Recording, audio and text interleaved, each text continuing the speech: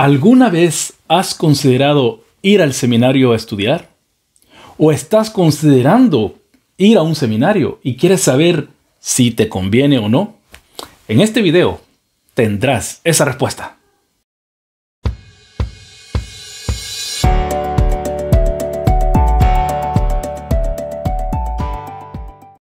Entrar a un seminario es algo muchas veces difícil y es una gran inversión.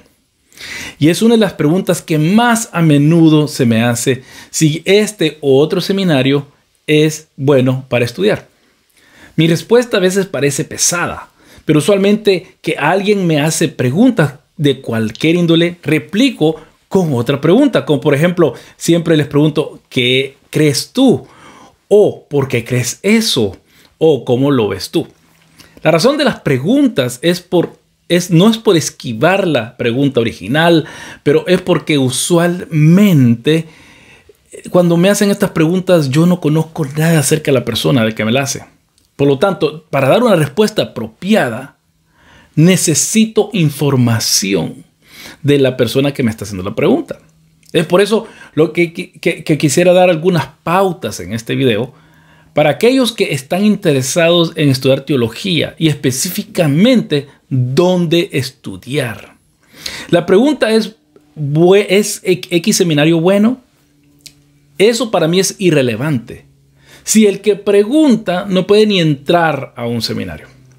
Así que espero dar unas pautas para poder orientar a los interesados de, tal noble búsqueda, para que así puedan poder encontrar aquellos seminarios que se puedan ajustar a sus aspiraciones como también a sus posibilidades. Número uno, tener los suficientes estudios para entrar a un seminario o universidad. Muy a menudo se aspira a estudiar teología por haber leído un libro teológico como la Teología Sistemática de, de Wayne Grudem o un comentario como la Carta a los Romanos por Douglas Moo, publicada por CLIE. Menciono estos dos libros que son de nivel seminario, o sea, para aquellos que ya poseen un grado universitario o licenciatura, algo que muchos de los lectores de habla hispana no poseen. Los propios autores mencionados han escrito obras más sencillas en inglés que son justo para aquellos que solo poseen un nivel de educación de secundaria. En el caso de Grudem, tal obra se conoce como doctrina bíblica Enseñanzas Esenciales de la Fe Cristiana, publicado por Vida. En el caso de Mu, la versión más introductoria en español de su monumental obra de Romanos es también publicada por Vida y este se llama Comentario Bíblico con aplicación NBI Romanos, del texto bíblico a una aplicación contemporánea. Estos dos últimos libros son específicos para aquellos que no tienen un nivel de educación universitario o están cursando dicho nivel. Estos son los textos que se usan, al menos en Estados Unidos, en aquellas universidades que preparan a los, que, a los de habla inglesa, pero también en Europa. El estudio eh, se debe tomar en cuenta que en el mundo de habla inglesa, y esto incluye también el continente europeo, Australia, Nueva Zelanda y Sudáfrica, estoy hablando de los, de los lugares donde yo conozco, eh, el estudio teológico viene siendo una segunda carrera que el estudiante está tomando luego de un estudio inicial universitario. Es por eso que ha sido la costumbre en Estados Unidos y en otros países de, habla inglesa y europeos que los cursos teológicos deben de, deben de, ver temas específicos em, que son una segunda maestría prácticamente. Más allá de la maestría de divinidades, sea, la maestría de divinidades es lo básico y luego viene el máster de teología o el máster en, teología sagrada, el máster en Nuevo Testamento, cosas así. Pero mucha gente toma estos otros másteres y no, nunca toma el máster de divinidades porque el máster de divinidades es más que todo para aquellos que van a ser pastores. O se puede tomar conjunto a esta, el máster de divinidades con el otro máster que por supuesto tomaría más tiempo al estudiar completar, que el máster de divinidades usualmente toma tres años, de tres años a estos serían cinco años. El estudio teológico en Estados Unidos está cambiando y haciendo más accesible al estudiante que no posee una licenciatura para poder, para poder tener acceso a una maestría. sino fundamentales, pero básicas, como las que ofrece Gordon Cowell de, de liderazgo cristiano. Pero se debe tomar en cuenta que la facilidad a la accesibilidad es a costo a la educación previa que se esperaba del estudiante anteriormente. Un punto en contra de esto es que dichas maestrías no requieren el, componente de lenguas, mientras que la maestría de divinidades y acá, aún acá en Australia, la licenciatura en teología, las requieren. Solo esto baja el nivel de educación y ya he visto como muchos al terminar dichas maestrías quieren salir del área específica que estudiaron, en este, en este caso liderazgo cristiano, y dejan muy marcada su diferencia en el área de eficiencia en el área de estudios bíblicos. Para finalizar, el interesado en estudiar teología debe de considerar qué nivel educacional posee. Si no tiene ni secundaria, muchos seminarios ayudan a guiar al estudiante a completarla. Si no tiene licenciatura, puede que igualmente el seminario lo guíe. Si tienen una facultad o pregrado en, su, en su universidad o su seminario, o poder hacer una licenciatura en estudios bíblicos teológicos. Si tienen una licenciatura de otra carrera, el estudiante ya tendría la disciplina y los requisitos académicos para entrar a cruzar una maestría en estudios teológicos o en divinidades. Así que mi consejo es que el interesado se ubique donde está en la balanza educacional. El hecho que haya leído la teología sistemática de Grudem y la entienda no quiere decir que tenga el nivel de educación y de disciplina académica. En el seminario no se juzga al estudiante cuán bien lee, sino cuán bien escribe y crea ensayos determinados por la facultad.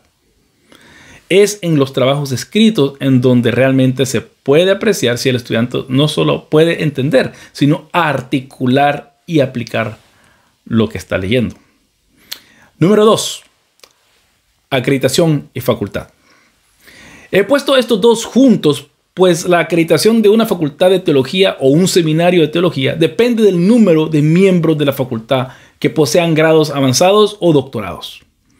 Ejemplo acá en Australia, como en la Asociación de, de Theological Schools o ATS, que es, la, que es el, cuerpo principal que acredita los seminarios eh, teológicos y a las también hay a las, a las escuelas de divinidades que son un seminario es como el Bautista del Sur y una facultad de teología dentro de la universidad sería como eh, la, que está en South Carolina, eh, Duke Divinity School.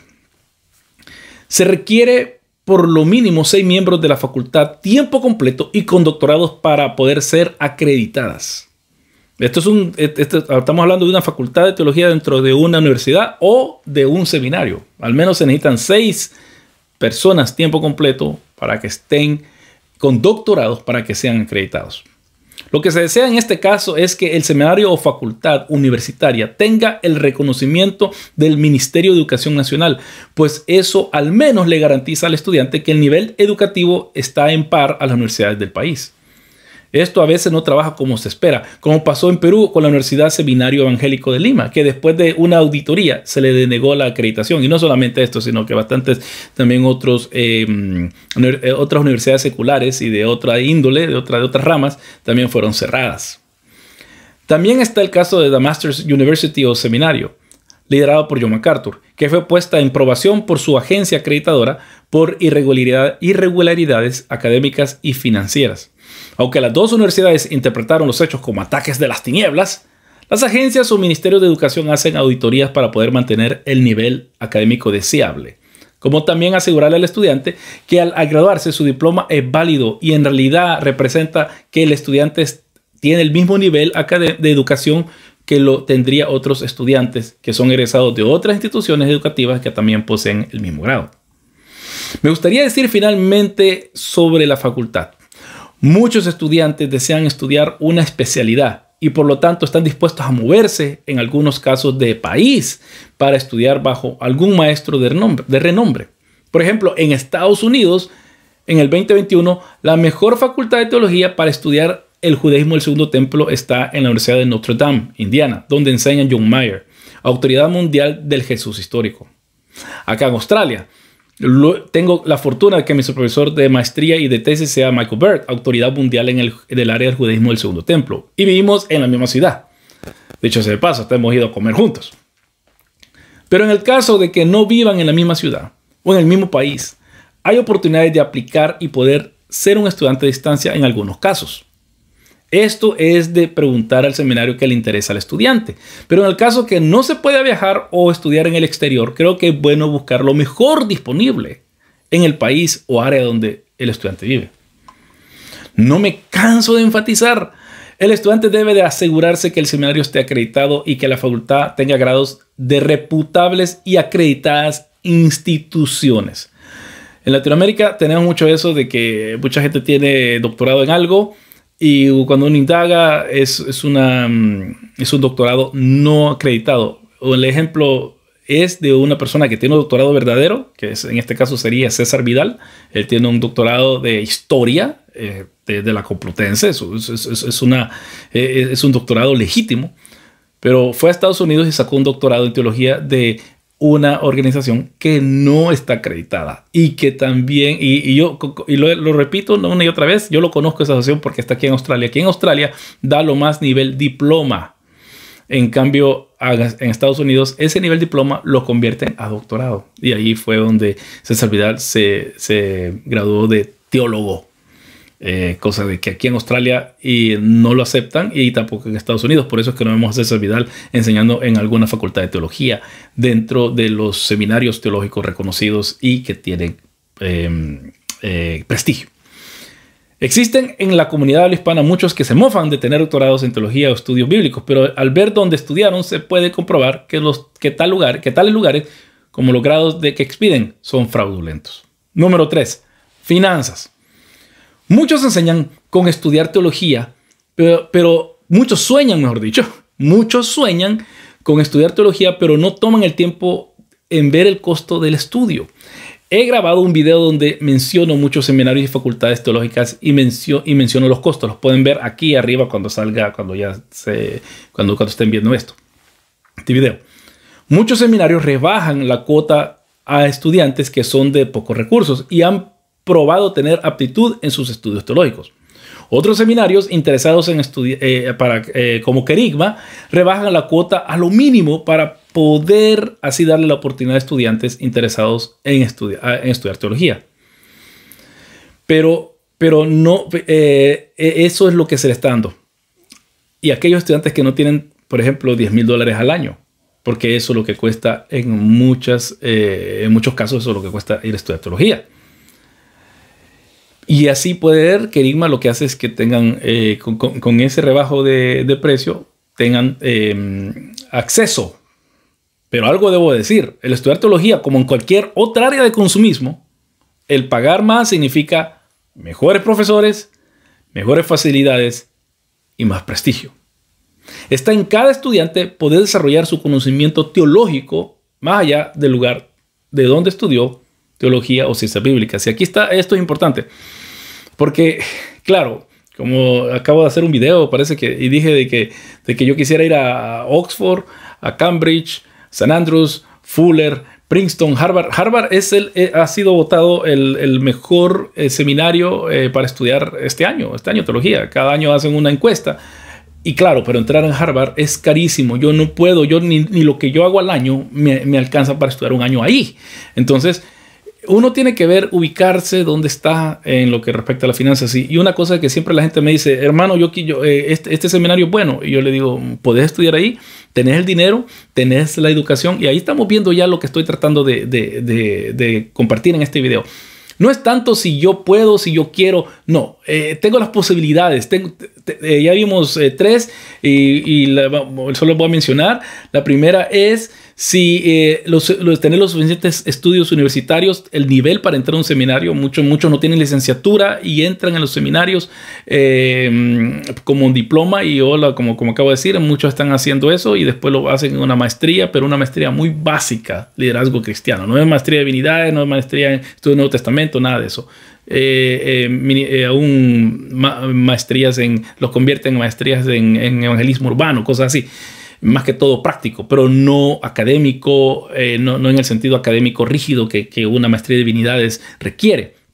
Entonces, muchos aspiran, quieren ir a, X seminario, pero no tienen muchos casos. Yo conozco a uno que, sale mucho en Facebook, que no tiene ni la, ni la secundaria terminada, pero él como está hablando de libros y está hablando de esto y lo otro, mucha gente cree que él tiene estudios, pero no lo tiene. Simplemente él ve una cosa, sabe inglés, lo ve y lo dice, pero no tiene el, requerimiento académico para entrar a un seminario y como también, como tampoco posee el, el, una palabra que estoy buscando yo en mi mente, lo rígido que se, que se, que se requiere para estar eh, estudiando en a ese nivel. Entonces, lo otro que acabo de, mencionar es también la acreditación y, facultad, que el estudiante tenga que saber si esa, eh, si esa institución está acreditada eh, por una agencia que esté también reconocida por el gobierno o si es posible que se haga directamente el gobierno, el, el Ministerio de Educación, para que así se pueda garantizar que están recibiendo una buena y balanceada educación universitaria. Y también la facultad, que la facultad sea acreditada y que también eh, si alguien se quiere especializar en algo, pues que busque donde está una facultad especializada en ese, en, ese tema. En el caso mío, eh, yo, yo, quisiera ir a Notre Dame porque es el lugar mejor para estudiar judaísmo el segundo templo, pero no puedo, pero tengo, la, tengo el privilegio de, tener a Michael Barrett en mi misma ciudad, que es uno de los, de los eruditos más conocidos con respecto al tema. Y número tres, las finanzas. Eh, eh, eh, faltan dos, pero estoy, repasando estos. Y número tres, las finanzas. de nada sirve estar tanto soñando yo de ir a, Fuller, por ejemplo. Si en Fuller usualmente son 12 a 12, de 10 a 12 mil dólares al año para estudiar ahí. estamos hablando de, moneda norteamericana, estadounidense, o, algo que muchos de nosotros no podemos pagar. Entonces, hay que buscar donde uno puede estudiar pero como dije, eh, el hecho de que vamos bajo más costos no quiere decir que uno no va a saber nada, pero sí eh, la calidad de, profesores es menos, eh, la calidad de las facilidades son menos y el prestigio es menos. Bueno, número cuatro, el factor denominacional confesional.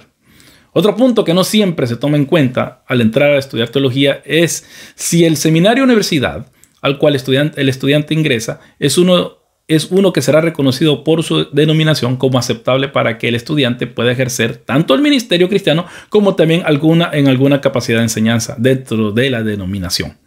Para dar un ejemplo, yo estudié cuidado pastoral, consejería y otros, y otros materias ministeriales en mi doble grado de licenciatura en teología y ministerio dentro del contexto anglicano. Al querer ejercer como pastor dentro de mi denominación bautista, se me vio obligado a tomar las mismas materias pero con, pero con el seminario bautista y con un enfoque más bautista. No obstante, mi formación ministerial en otra realidad fue fuera de, lo, de la que yo crecí, que es bautista, me ayudó a apreciar cómo el ministerio se practica en otras denominaciones. Para aquellos que solo quieren formación educacional y no se ven enseñando o ejerciendo en un ministerio dentro de su denominación, tienen libertad de estudiar donde les plazca. Pero aquellos que desean servir y enseñar dentro de su propia denominación, aconsejo hacer al menos su educación básica dentro de su contexto denominacional. Y si desean seguir más adelante en sus estudios, entonces estudiar en instituciones que no sean de su misma denominación. Esto es por, por, veamos lo que va a pasar en el futuro, en su ministerio, en su vida. Eh, mucha gente se enoja que, estudian, digamos, en el mejor seminario y cuando llegan a, a, su, denominación no, no, los aceptan. ¿Por qué? Porque no han sido formados dentro del contexto luterano, bautista, presbiteriano, anglicano, y han estudiado, por ejemplo, con los católicos, ¿verdad? Eh, no, no, así la cosa. Hay seminarios eh, como en Fuller y como en otros seminarios, en Sioux, eh, allá en Estados Unidos también, eh, Sioux Falls Theological Seminary. ahí hay tracks, hay, hay, hay caminos donde aquel que es bautista puede estudiar con uno o dos profesores que le enseñen, que, que, que lo estén mentorando durante sus años de formación teológica. Igualmente también en Fuller, más que todo, porque yo conozco ahí, porque yo viví en California, así que eh, en Fuller eh, hay, hay, hay, personas, es tan grande la facultad que tienen anglicanos, luteranos, metodistas, pentecostales, etc. Y entonces así se van formando las personas. Eh, pero eso estamos hablando de de los seminarios más grandes, estamos hablando de los seminarios eh, más prestigiosos y estamos hablando de un seminario que tiene dinero para hacer eso. Eh, digamos, hay otros seminarios que, no, que apenas tienen seis personas apenas tienen seis personas y a veces que lo que hacen es que emplean otras personas para que lleguen a, darles clases para poder así tener la, acreditación. Pero bueno, eh, eh, piensen bien a dónde van a ir a estudiar, qué quieren estudiar, si solo quieren, eh, mucha gente opta por ir a estudiar con los católicos, que yo digo, no hay nada, nada malo, como acabo de decir Notre Dame.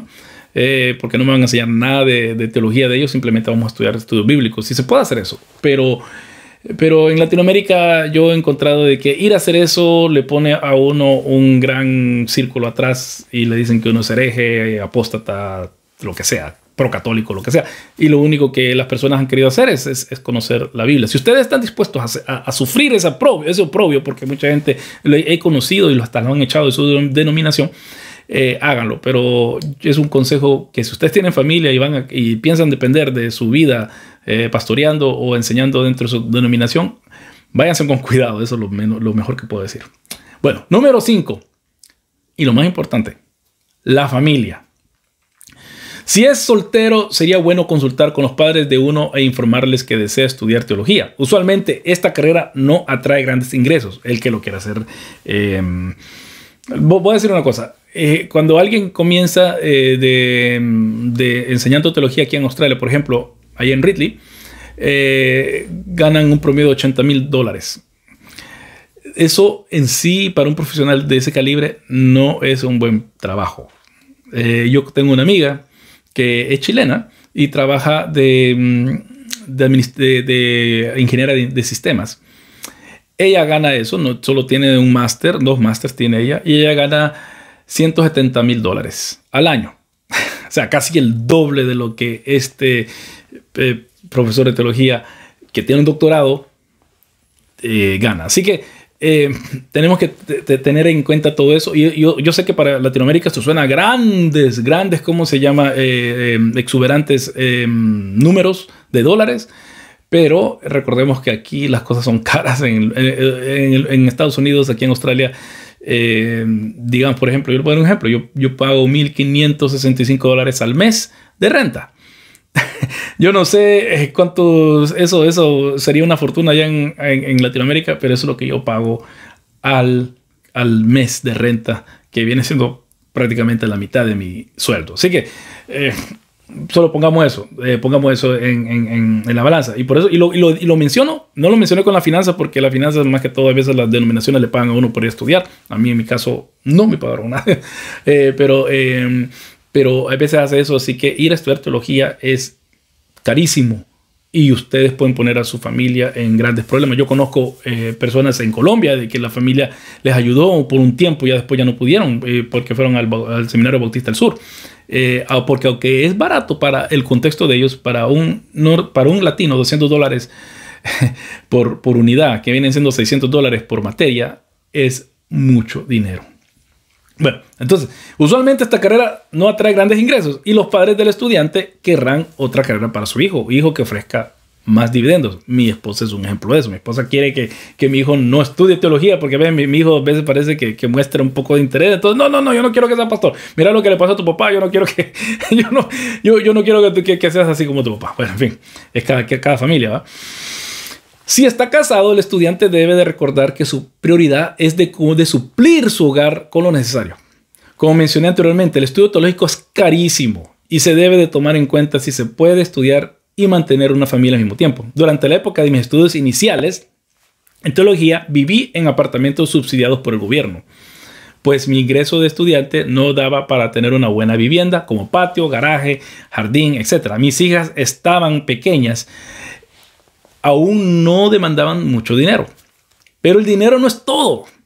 El estudio de teología consume mucho tiempo al estudiante y si alguien tiene familia no se puede dar el lujo de tomarse tres años de vacaciones y, poner, y, ponerle, y, sin ponerle caso a la esposa o hijos. O en el caso de esposo, creo que mujeres que también estudian teología. El balance entre el estudio y la familia debe de ser mantenido sin dejar de tomar en cuenta que nuestro llamado como cristianos primeramente es primeramente nuestra familia y luego el estudio. Espero que con estas cinco pautas que he ofrecido al interesado en estudiar teología pueda hacerse su propio criterio si, está, si este u otro seminario le conviene o si tiene el, el suficiente estudio para entrar a un seminario o universidad. De más importancia, de nada sirve soñar si se puede ir a un seminario si no existen las finanzas de por medio para leer, para hacer tal cosa una realidad. O sea, que uno va a empezar a soñar y a soñar y a soñar y si no tiene dinero, pues eh, eso trae más depresión y más presión mental. También se debe tomar en cuenta que, que, se espera, que se espera el estudio teológico bíblico. Si es mero conocimiento bíblico o preparación ministerial para servir dentro de la comunidad de la fe a la cual el estudiante pertenece. Y sobre todo, mis hermanos, que el estudio teológico, lejos de destruir la vida familiar del estudiante, lo ayuda a crecer ministerialmente, como también en conocimiento para ser un mejor creyente en el lugar donde Dios lo ha puesto a servir a su prójimo. Y esos prójimos son primordialmente su esposa y sus hijos. Espero que este video le ayude. Eh, déjeme un like eh, si, si, le ayuda. Eh, también déjeme un comentario abajo si ustedes tienen alguna otra pregunta o quieren aportar también sus, aquellos que han estudiado teología, que sus experiencias, qué es lo que ha pasado con ustedes o, sus inquietudes que tienen con respecto al estudio teológico. También le invito a que vean las notas del video, los lugares donde usted puede seguir eh, en, en las redes sociales y también cómo poder aportar a esto que estoy haciendo aquí. Que Dios le bendiga y hasta la próxima.